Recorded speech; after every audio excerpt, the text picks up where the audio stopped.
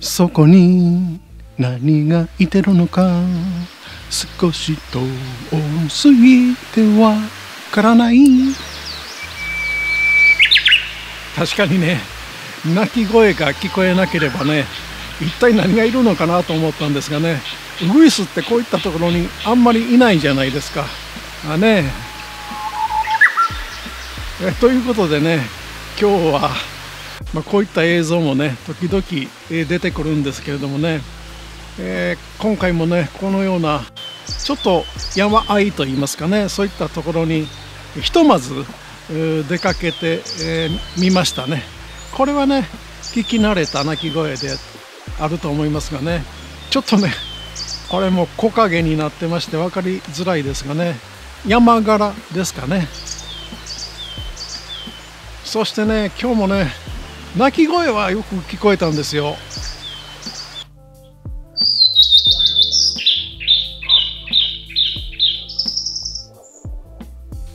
おそらく夏鳥の鳴き声ですよね。ということでね、えー、撮影の方はねできなかったので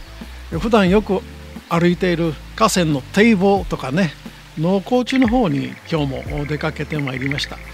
そしてねタイトルにもありますように法法華経からの脱却ということでね後ほどウグイスがねちょっとまとまって鳴き声をね今回も聞かせてくれましたのであの前回にもねちょっとお尋ねしたことがあるんですがね法法華経以外の聞きなしができないかなということでねちょっとまたねあの試してみていただきたいと思うんですがねそしてこれホウジロがね何かジャンプしてましたよね今。これまたマリオホウジロだね。横移動する野鳥を見ますとね最近マリオ赤霊とかねそんな言い方をしているんですけれどもね。ホウジロよく見ますと時々片足でジャンプしたりとかね。そもそもホウジロってウォーキング派じゃなかったのかな？このチャンネルではウォーキング派ホッピング派なんてねよく言ってるんですがスズメがねホッピング派の代表選手なんですけれどもねホウジロは確かウォーキングメインだったような気がするんですけど、まあ、使い分けているんですかね？この地面の凸凹具合というかそういったあところなどね見ながらうん使い分けているのかな。あの結構いいポイント稼いでるような感じがしますね今回ねこのホウジロね。えそしてねあのタイトルにねカラスヘビね、まあ、シマヘビの国家型といいますかね。ちょっと変色した個体がねこの動画の一番最後で出てきますのでねまたカウントダウンね。文字と音声でしますのでねちょっと心の準備をしていただきたいと思いますね。そして何か何か言ってたね。勝手に飛ぶ勝手に飛ぶなって言ってるね確かにね。これもねあちこちでねよく言われますね。まあ、報じろの聞きなしをね私勝手にいろんなことを言ってますけれどもね。まああの決定的なね特徴と言いますのはね例えば熱中症に気をつけてねとかねやっぱ好きやねんとかね。うん。そのように最初2文字目がねあのちっちゃい「つ」になるんですよね。報じろの場合はね。そしてこちらね何か変わったポーズで移動してますけれどもね。この間ひばりが似たようなポーズでね移動していたと思うんですがねこちらメスですがねひょっとするとメスに対するアピールというかデモンストレーションというんですかね、えー、そういったことだったのかな。ホウジロがねああいったポーズをしているのを私今まで見たことがなかったんですがねセグロセキレイなどがね時々あのプロポーズと言ったらいいのかねアピールねメスに対するそういったことをしているのを見たことがあるんですがね。こちらのホウジロも何か片足でジャンプしてますね。何か意味があるのかなちょっとわからないね。そしてねこちらウ グイスがね鳴き声を聞かせてくれますんでね。あのこの間ちょっとお聞きしてますとね面白い聞きなしがありましたね。もう起きろっていうのをね教えていただきましたが。もうそれを聞きますとそうとしか聞こえなくなってるんですよね。今ね。あちょっと変わった鳴き方をしてましたね今ね。方法結局だけではなかったんですよこの時ね。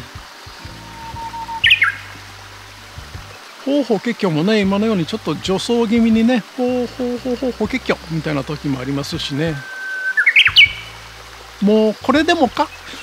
これでもかまだ泣かすんかいみたいなこと言ってるんですかねお見事な方法結局もうこれでもかみたいな泣き方ですかね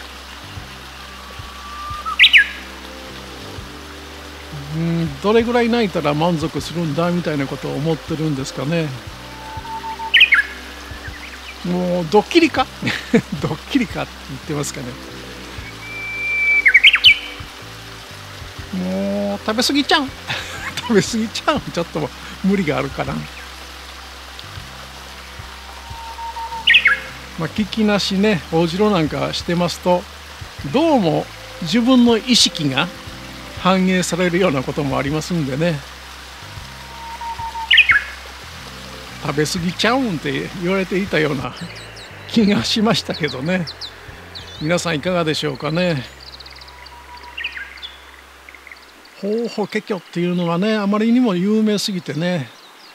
そこから抜けきれないんですけれどもね、まあ、意外にその野鳥の聞きなしをね自分なりにしてみるのも楽しいかななんて思っているんですがね。さて今日もねちょっと野鳥には関係のない話をね、えー、少しと言いますかシュワッあのさせていただきたいんですがね脱却ということにかけましてね実は最近私自身ね試していることがあるんですけれどもね。と言いますのはねあのこのチャンネルでは鳥依存症なんていうこと時々ね言っていると思うんですがね、まあ、そもそも依存症というような言葉はね深刻な状態ね、えー、何かあの社会的にもちょっとね、えー、立ち行かないとかそういった、まあ、自分の体にもね具合の悪いことが起きてくるとかそういったあの深刻な症状の時にね使う言葉なのでねあんまり軽々しくね鳥依存症なんていうことはね良くないんじゃないかなって、え、そういった意味合いのことがね書いてある書籍がありましたのでねちょっと耳が痛いななんてね思ったんですがね。まあ私もね、えー、何かね依存症というわけでもないんですがね例えばねあの